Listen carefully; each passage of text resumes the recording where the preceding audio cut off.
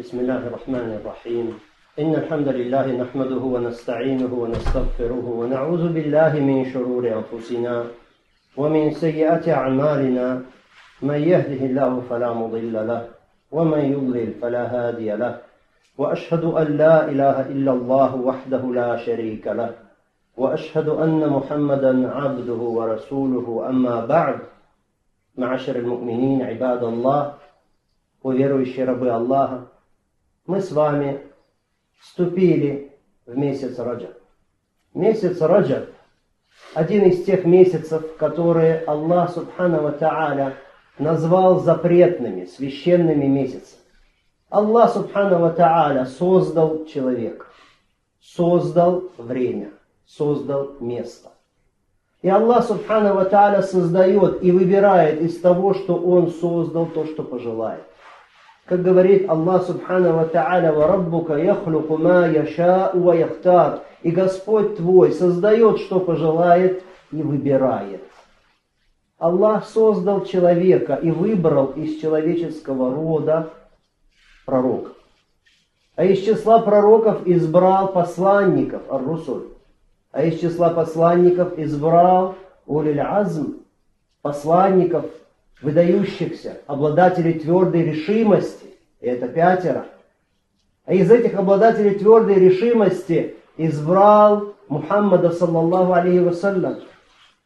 И Всевышний Аллах создал место, и из всех мест на земле избрал Мекку и Медину, и Бейтуль Макдис, то, что называют Иерусалим. И Аллах Субхану Ва Тааля создал время и избрал из времен на уровне недели, из всех дней недели, Йомуль Джума, пятницу. И избрал из всех дней года Йомуль Нахар, день жертвоприношения, 10 Зульхиджа, это самый лучший, самый любимый день для Аллаха Субхану Тааля в году, как об этом говорят хадисы. И избрал из месяцев, месяц Рамадан, и четыре месяца, которые называются Аляшуруль Хурум, запретные месяцы.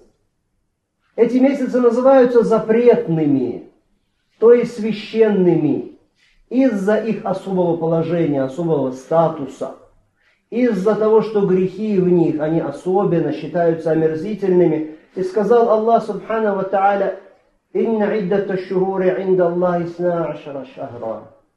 Поистине число месяцев у Аллаха 12 месяцев. Фи китабилля, йома халяка самавати По Писанию Аллаха в тот день, когда Он создал небеса и землю, минха арбатун.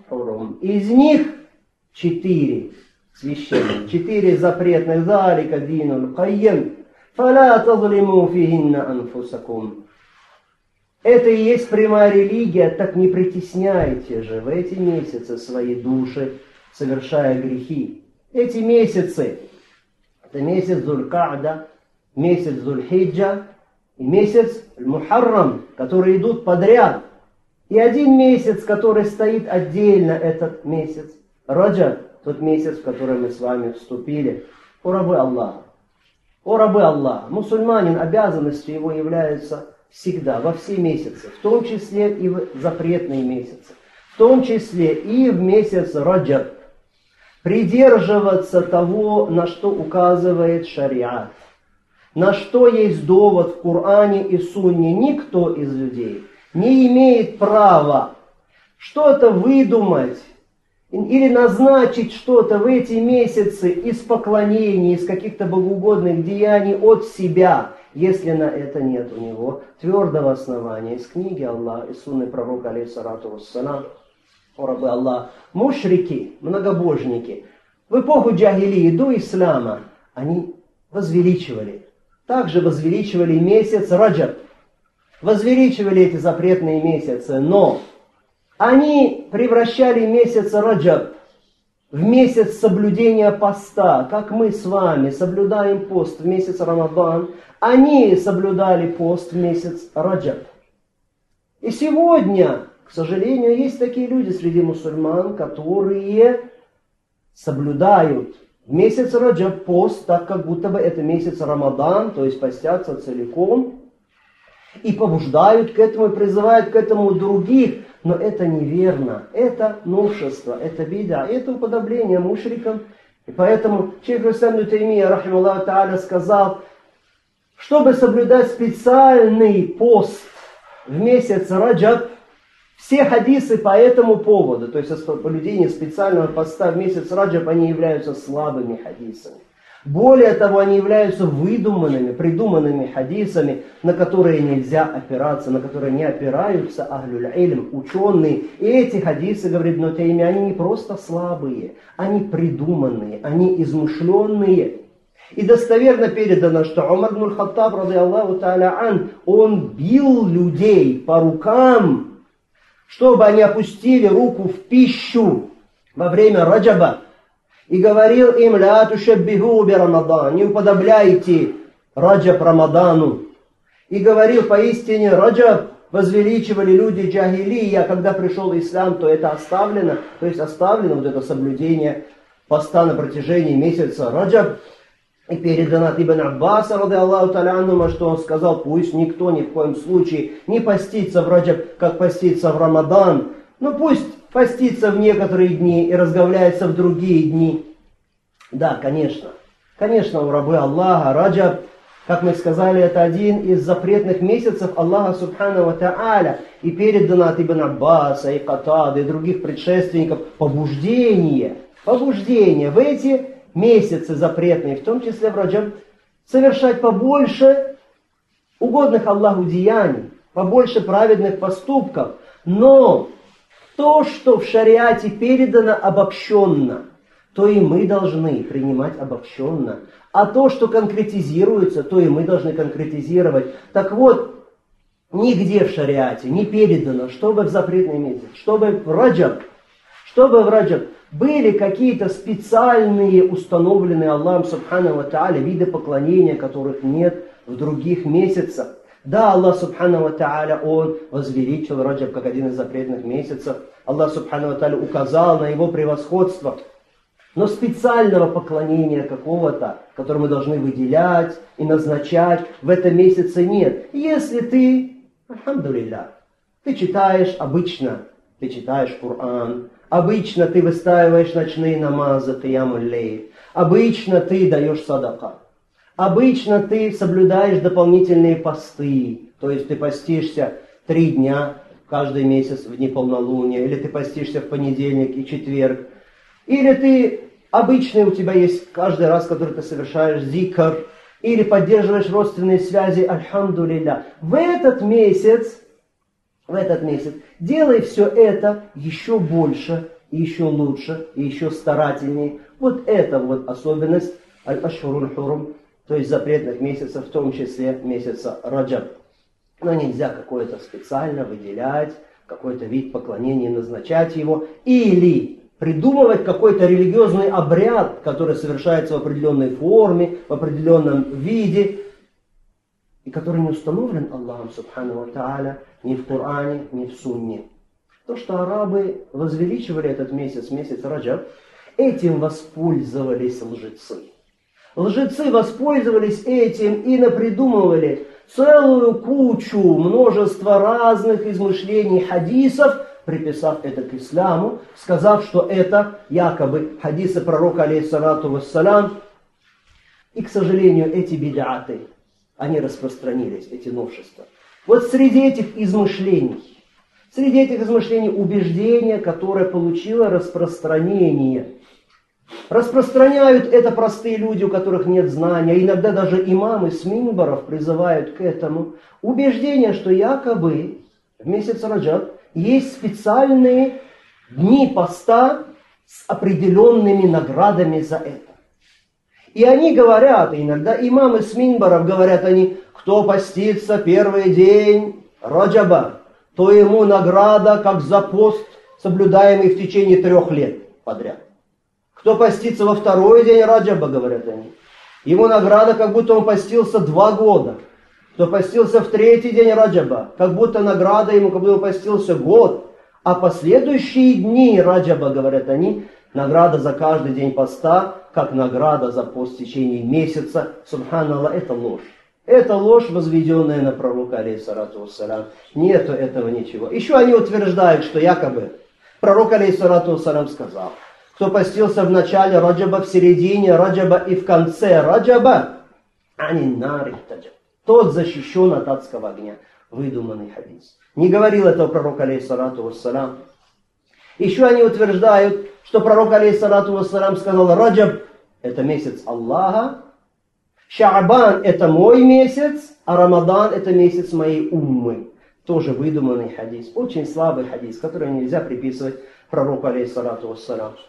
Что еще делают люди из новшеств? Мы должны знать об этом и предостерегать себя и наших братьев от этого. Одно из новшеств – это так называемый салату рагаиб, намаз рагаиб, который совершают некоторые люди. Они совершают его в первую ночь на пятницу в месяц Раджаб между намазом Магриб и между намазом Иша. И они утверждают, что после этого намаза, кто сделает дуа, обратиться к Аллаху с дуа, обязательно Аллах ответит на его дуа. Этот намаз, он имеет свою особую форму, странную очень, образ его совершения. Все это измышление, все это ложь, ничего этого в религии нет, с этим согласны все ученые. И вот этот так называемый намаз Абахаев, он появился только после 4 века хиджры. То есть не был он известен ни пророк, алейхиссалату вассалам, ни сподвижникам, ни их последователям, ни имамам прямого пути. Его придумали, и придумал его, как об этом говорит известный ученый Абу Шам аль-Магдиси, придумал человек из города Наблюс.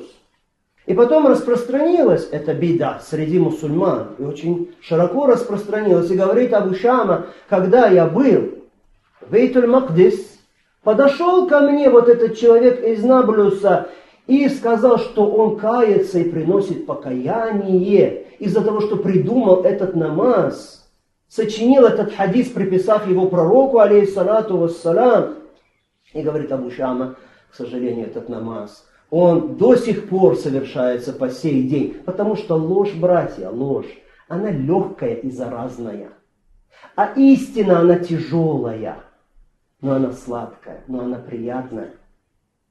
К сожалению, истина нелюбима многим, но она приятная. А ложь, ложь приятная, она распространяется очень быстро. Она распространяется так же быстро, как пламя распространяется внутри сухой соломы. Вот так же распространяется ложь среди людей имама Науи, известного ученого, его спросили про этот намаз, намаз ар-Рафаиб. Сунна это или бид'a, он сказал бид'a, кабиха, это мерзкое бид'a, сказал имам Науи, мерзкое нововведение, которое нужно порицать самым сильным образом, которое содержит в себе разные порицаемые поступки, Нужно это оставить, отвернуться от этого и порицать тех, кто делает это. И пусть не обманываются люди, говорит он тем, что многие люди совершают его во многих странах ислама. И пусть не обманываются люди тем, что об этом намазе сказано в таких книгах, как Кутур или Ихья Улумуддин, который любят многие люди эту книгу. Пусть не обманываются, говорит он, что в этих книгах сказано об этом намазе. Это, говорит он, несостоятельная ересь, а пророк, алейхиссалату вассалам, сказал, «Ман ахдаса фи динина ма лейса мину Кто придумает в нашей религии то, на что нет указания, то, что не от нее, то это будет отвергнуто Аллахом. И сказал пророк, алейхиссалату вассалам, лейса алей амруна кто совершит какое-то религиозное деяние, на которое нет моего указания, то это не принимается Аллахом, это отвергается. И сказал пророк алейхиссалату куллю бидатин баляля. Каждое религиозное нововведение – это заблуждение. Аллах Субхану Ва Тааля. Если между нами возникают какие-то религиозные разногласия, приказал нам обращаться к книге Аллаха и сунне его посланника и сказал «Фаин таназатум фи шейин фаруддуху иля Аллахи ва Расул». «Ин кунтум ту'минуна биллахи вал яумил ахир». А если вы разногласите в каком-то вопросе, то обратитесь к Аллаху, Его посланнику, то есть Курану и Сунне, если вы верите в Аллаха и в последний день. Аллах приказывает нам обращаться к Курану и Сунне, а не следовать за разными невеждами. И не приказывает нам обольщаться ошибками ошибающихся. Вот это были великие слова выдающегося ученого Мама Науи, рахим Аллаху Та'аля, и от многих ученых переданы эти же слова. Еще одно, одно новшество, которое распространено в этот месяц Раджаб, то, что многие люди считают, что в этот месяц следует ехать в Медину, посещать мечеть пророка, алейсалату потому что именно в этот месяц это является сунной. Нет. Посетить мечеть пророка, алейсалату чтобы совершить там намаз, это сунна всегда. Это всегда богоугодное деяние. Но выделять чем-то посещение в месяц Раджаб от других посещений из других посещений это беда, это новшество. Нет на это никаких указаний ни в Коране, ни в Сунне.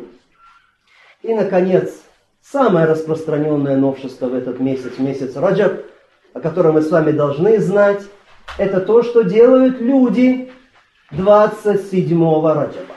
Вернее, в 27-ю ночь месяца Раджаб. Они считают, что эта ночь Та ночь, когда пророк, алейхиссалату вассалам, был перенесен из Мекки в Бейтуль Мақдис, в Иерусалим, а потом вознесен на небеса, то есть ночь алисра валь ми'радж. Они говорят, вот, 27-я ночь Раджаба, это и есть та ночь. И поэтому отмечают эту ночь. Поэтому особо выделяют эту ночь, совершая в течение этой ночи киямуль лейль, ночной намаз, постясь днем. Они отмечают этот день разными торжествами, на которых они, собираясь, выступают с речами, на которых они поют разные анашиды, которые называют они мадихами, декламируют разные стихи, разные касиды. Ничего из этого не передано от посланника Аллаха, саллаллаху алейхи вассалям. Ничего это не было известно первым поколением этой уммы, которые самые лучшие поколения этой общины. Более того, самое правильное мнение, как на это указывает имам Науви, рахмаллаху та'аля, что вообще это великое событие, Исра и Ми'радж, оно не было в месяце Раджаб. Оно не произошло в месяце Раджаб.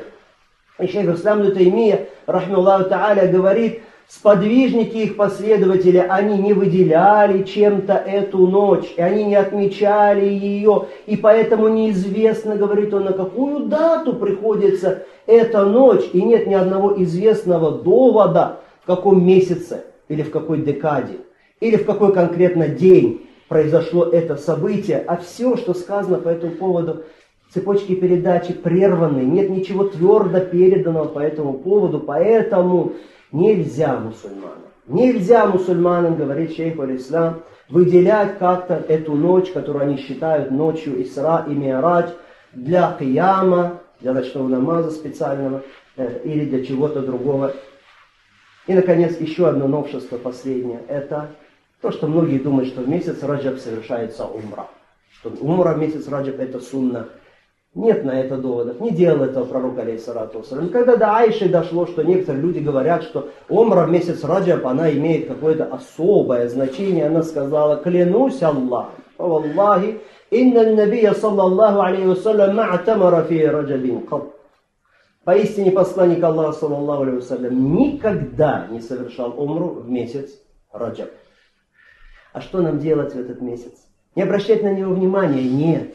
Ахля Сунна Ваджама, мы люди середины. Что делать нам сейчас в этот месяц, в этот великий месяц? О рабы Аллаха, нам нужно поспешить обратить внимание на состояние наших душ. Нужно сейчас взять свой нафс, свой нафс под решительный контроль под решительный контроль и начать подготовку к приближающемуся месяцу Рамадан. Пусть Аллах Субхану Таля позволит нам всем дожить до него и провести его в наилучшем поклонении Ему. И нужно идти к Рамадану, взяв под контроль свой нефс, твердым, спокойным, решительным шагом, надеясь на награду Аллаха Субхану Тааля, но ни в коем случае не имея в сердце намерения получить какую-то вот специальную награду за деяние в Раджаб, о которой сказано вот в этих вот выдуманных лжецами хадисов, потому что нет никаких достоверных сообщений о какой-то специальной награде за определенные деяния именно в месяц Раджаб. И не нужно делать какие-то обряды поклонения, на которые нет довода от Аллаха Субхану Тааля.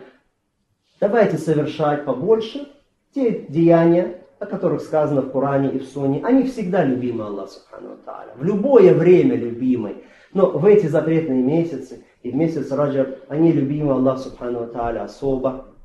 Поэтому давайте не вести себя так, как будто бы это обычное время. Нет, мы не должны упускать вот это время благословенное, которое дает, Аллах Субхану Тааля, должны совершать богоугодные деяния побольше в них, то, что любимо Аллаху, то, что приближает нас к нашему Господу.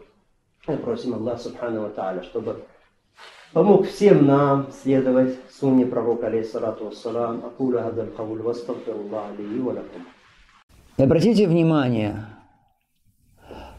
и все время мы говорим об этом. Почему важно изучать религию под руководством знающих людей?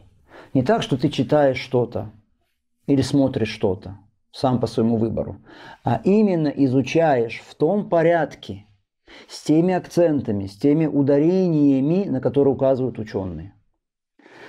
Что ты сам не знаешь, что первичнее, что приоритетнее – что важнее, на что нужно сделать больше ударения, на что меньше. Человек, когда он сам вот так вот выбирает, особенно сейчас в эпоху интернета, там многочисленных роликов, как он листает соцсети, группы, каналы и выбирает, как что-то вот по названию понравилось, и он смотрит. Ну, послушаю это.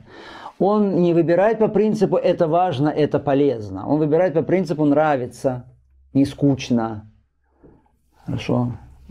Оратор хороший, тема веселая и так далее, занимательная.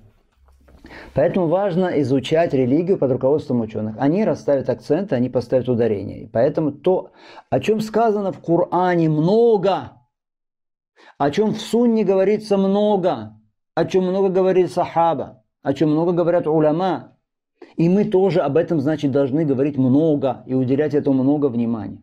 Понятно или нет? А не так, что люди берут что-то из религии, да, это из религии, но религия дала этому определенное место, вот столько в этом большом круге религии. Они же взяли вот это, чему уделяется вот столько времени, вот столько вот места в этом круге, оно находится где-то с краю, и поставили это в центр круга и сделали, что это главным в религии. А то, что было главным и в центре, они наоборот это куда-то запихнули в угол или вообще что выбросили из круга религии. Вот э, чем опасно изучение религии без руководства знающих людей.